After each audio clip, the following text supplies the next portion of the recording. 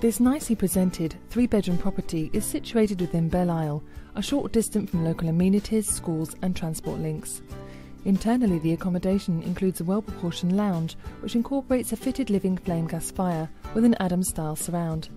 A door opens to the kitchen, which is fitted with a matching range of wall and base level units, with rolled edge work surfaces and recesses for appliances, whilst a door opens to the sun lounge.